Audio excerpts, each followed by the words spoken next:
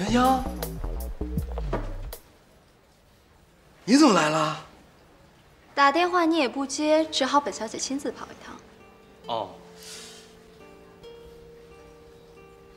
哦，我放静音了。有事吗？办业务啊，办什么业务啊？分手啊，分手？对，分手。你别开玩笑了，这咱们回去再说，明天。我都不怕丢人，你怕什么呀？啊，不是你别闹了，这是都都都看着呢。我我我下班我去找你，怎么样？来都来了，就在这儿解决吧，就把我当成你客户了。什么客户啊？你别耍性子了，乖啊！你好好的分什么手啊？这是。你好，我不好，你也知道的。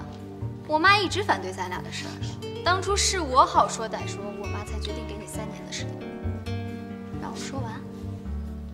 结果现在呢，你今年三十，我二十八，别说是一百二十平米的房子了，我连二十平米的作坊我都没看见。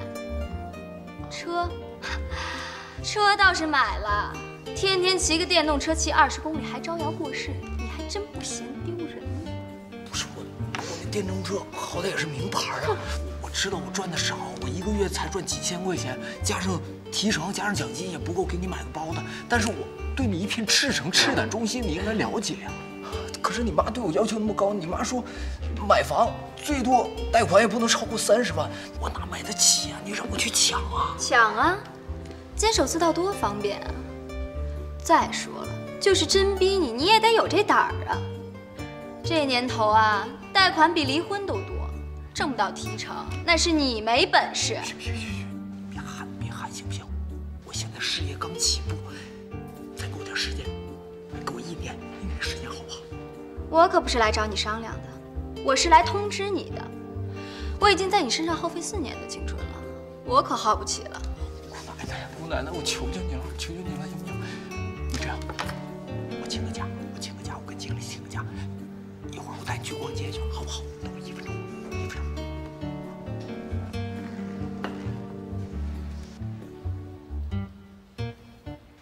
啊啊！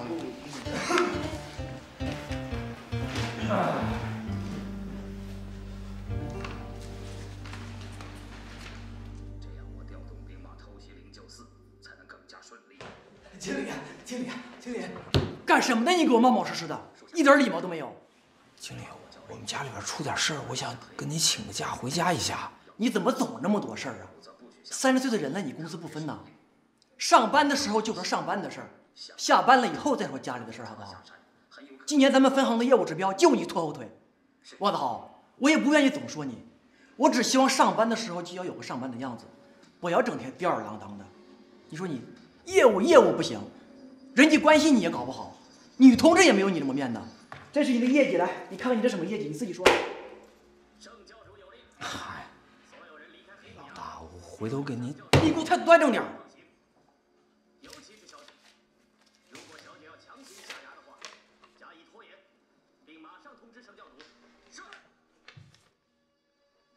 这是你上周交给我的事情加薪报告。经理，我在信贷科都三年了，也应该加点薪吧？你还有脸跟我谈工资？那我上有老下有小的，我也得生活吧？我给你算笔账，一年三百六十五天，也就是五十二个星期。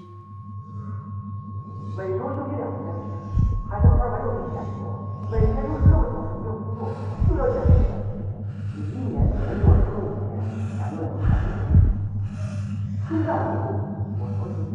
你，这种人就是社会的蛀虫。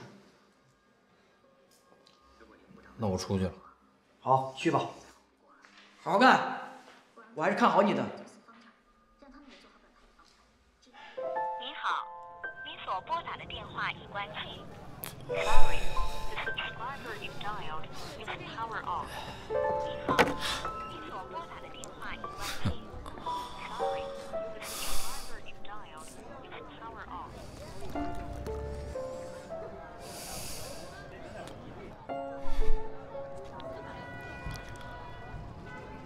爱情算个屁呀、有啥没啥，傻逼才跟你好呢。媳妇儿没了，工作也没个奔头，作为失败的典范，我他妈还真是成功啊！我现在一闭上眼就能想起自己漆黑一片的前途。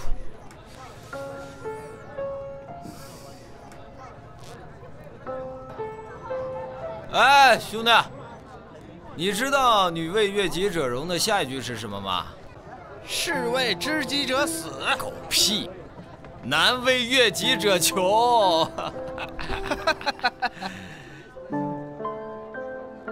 哎，我说哥们儿，哎，你来的正好，你给我评评理啊！你说，我作为一个银行的信贷职员，作为一个三十而立的未婚屌丝，整天忙活着给别人贷款买房，结果自己因为买不起房，被媳妇儿给甩了。你说是不是奇耻大辱？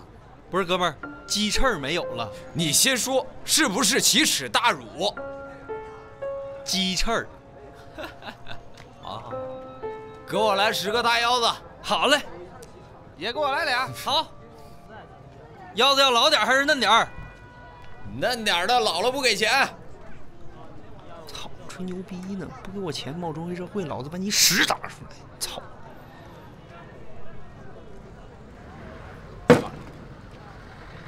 老天爷饿不死瞎家巧。哎，哥们儿，你说我实在不行，就跟你一样弄个摊子在这卖烤串行不行？我靠手艺挣钱。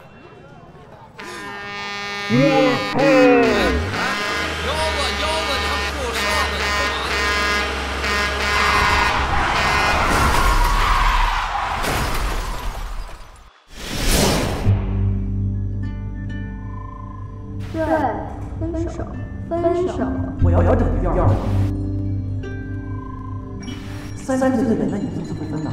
你今年三十，我二十八。我妈一直反对咱俩，我可好奇了。啥意思？那是你没本事。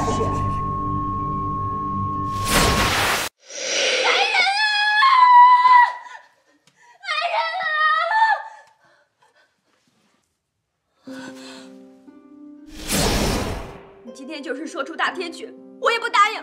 我不管，我就是要纳妾。不行，楚天王死了，你陈家区区药材商贾，身份低贱，能攀得上我王家那是三生有幸，还由得你来替我做主？你也不摸摸自己的良心。我陈家虽然卑微，可好歹也是你名门正娶的媳妇儿。当初老爷夫人尸骨未寒，你拜完天地，转身就去风流快活。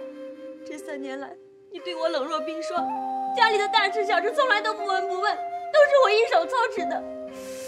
现在你愚弄舞姬苟且也就罢了，今日竟想纳她为妾，门儿都没有！你替我王家操劳那是天经地义。你身为夫君，携妻孝子更是天经地义。好，那我就休妻。休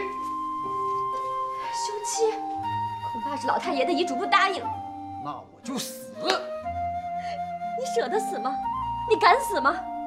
就算你舍得死，怕是也舍不得外面那狐狸精吧？你舍得死吗？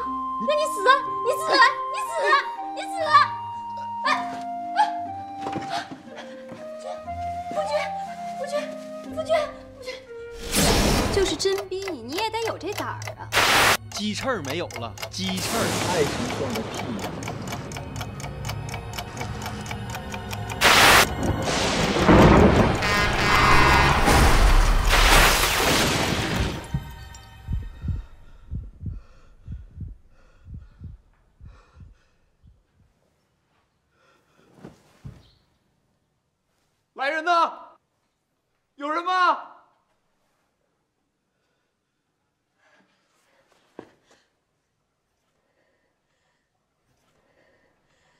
你是谁呀、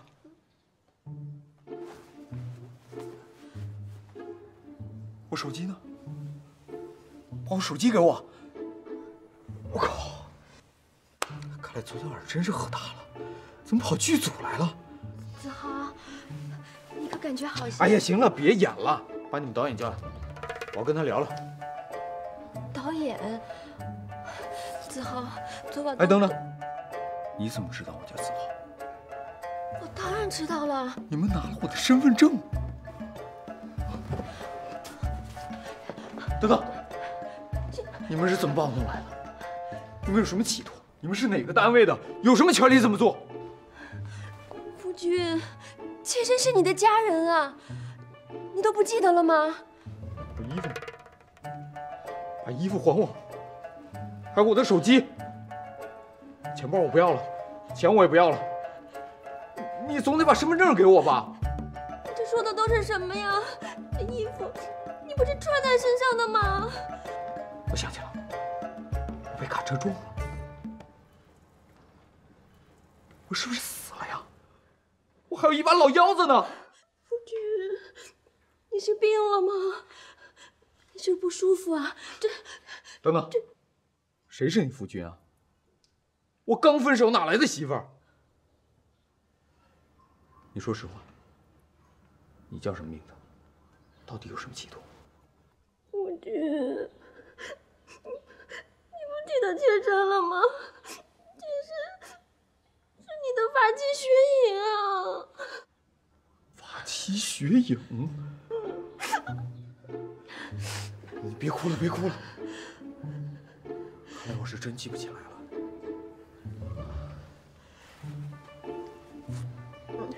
我脑子有点乱。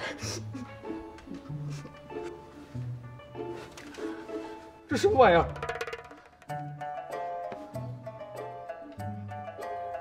你能帮我好好回想回想吗？这是哪儿啊？这是侯爷府，是咱们家呀。家，就算是家，那那咱们家住哪儿啊？夫君，你不会连这都想不起来了吧？咱们家在长安啊。长安？你为什么叫长安而不叫西安？难道你是大汉民族主义？好吧，最后一个问题，咱们这儿解放了，咱们家是不是地主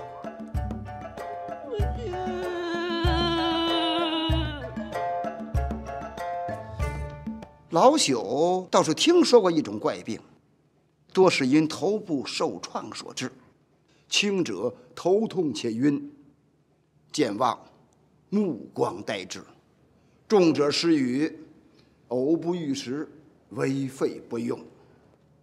老朽妄自猜想，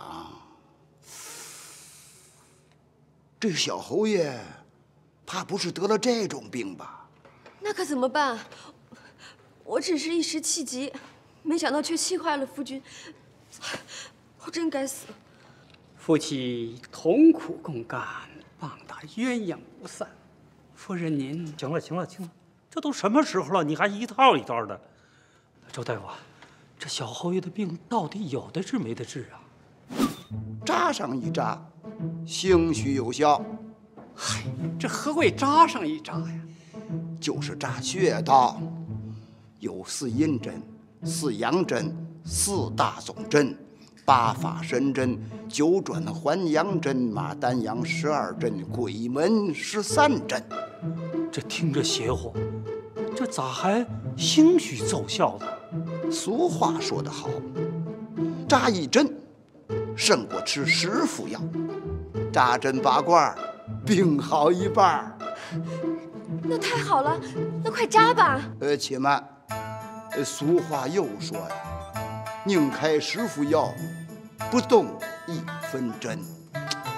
这这这到底扎还是不扎呀？不扎。我还是给小侯爷开十副药吧，夫人，药方在此。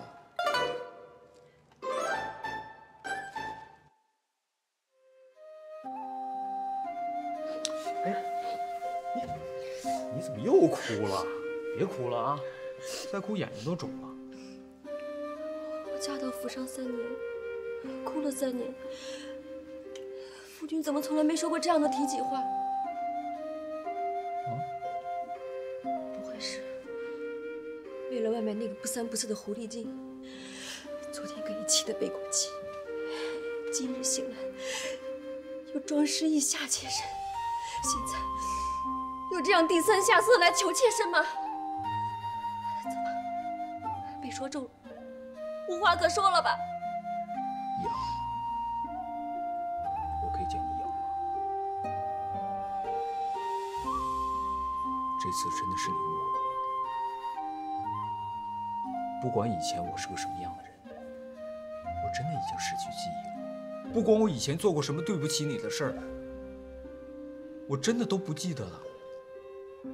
更别说我在外面有女人，我连认都认不得。我还带他回家吗？既然我们俩是夫妻，那我们就得感情和睦，家庭圆满。我既然娶了你，就要对你、对这个家负责任到底。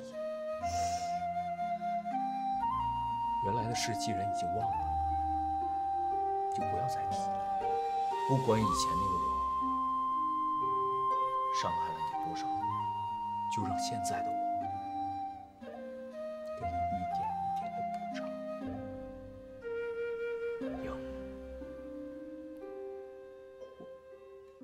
真的很饿呀，咱们俩能不能先弄点吃的再说呀？日子还长着呢。周大夫说，夫君体虚，要少吃多喝。妾身这就去准备。哎，等一下，我的衣服呢？怎么穿来着？我有点忘了。领子没扣上，这都怎么扣的呀？这个。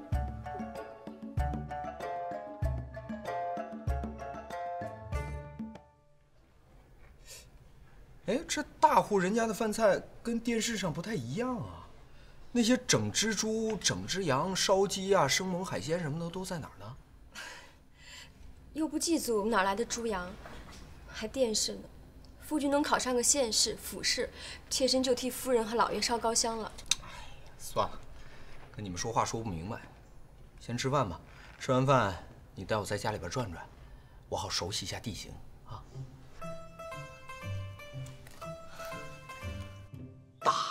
真他妈大，不是一般的大呀！哎呀，这都走了四个院子了，前前后后什么门洞啊、拱门都过了五六个了，还没走完。夫君，这就是咱们的正房，里面还有书房和卧房。按照现在的房价，即使是京郊也要三万一平。我王家的宅子少说有一万平，三万乘以一万，也就是三三亿呀！我操！三亿的豪宅里，重点是这间豪宅就他妈属于你。去他妈的想想，老子才不稀罕呢！前面就是花园，这大晚上的黑漆漆的，就别去了吧，妾身怪害怕的。怎么，这花园闹鬼了？啊！讨厌，吓得妾身脚软云云的。脚软云云，这都什么词儿啊？夫君身体尚未恢复，要不妾身今晚就留下来服侍夫君吧。你平时都不跟我一起睡吗？自从进了这个院子，妾身就一直睡在东厢房。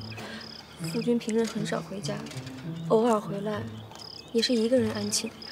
妾身，哎呀，这王子豪，还真是禽兽不如不如个禽兽。哎，那那那咱们晚上都干点什么呀？谁知道夫君晚上都做些什么？反正妾身是看一会儿书就睡了。这么单纯啊？哎，天刚黑，时间还早，不如咱们娱乐一下。那咱们下围棋吧。我知道夫君常常在外面赌棋呢。围棋不下，会下五子棋。哎，算了，五子棋太难了。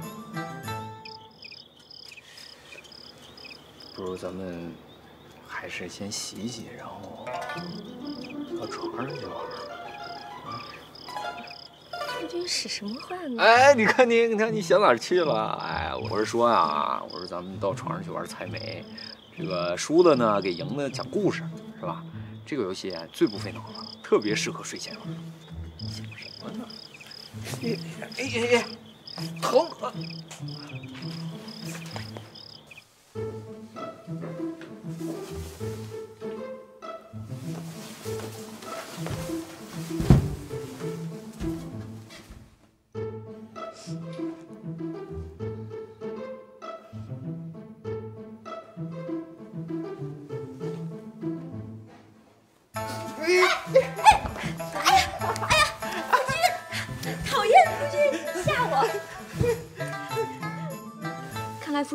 失忆了，以前就从来不会这样对妾身。那我以前是个什么样的人啊？该不会是个坏人吧？什么是好人坏人？在妾身这里，夫君是大大的坏蛋。哎呀我是说，我有没有做过那种欺男霸女、鱼肉乡里、放高利贷，然后逼还不起债的人卖儿卖女之类的事儿？这怎么可能？这种事情在长安城里都不多，何况夫君的家教，更不可能做出这样的事。不过细细想来，夫君虽然不学无术，但也不是什么坏人，对街坊邻居礼数周全，对下人们也和和睦睦。可是，怎么对妾身就这样冷言冷语呢？夫君干嘛？别胡闹！王修啊，王修，这件事算是你积了大德了。娶进门三年的媳妇儿，你嫌弃人家出身低，愣是一手指头没碰。哥们儿，我真心谢谢你。哎呀，夫君，你把蜡烛灭了，可是。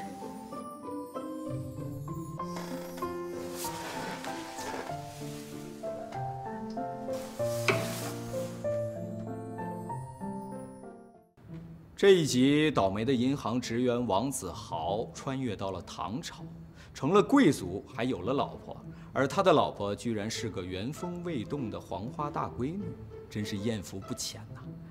下一集呢，王子豪将独自面对陌生的唐朝生活，没有内衣裤，没有卫生纸。老爷，我要擦屎，听懂了吗？擦屎，擦屎还用宣纸？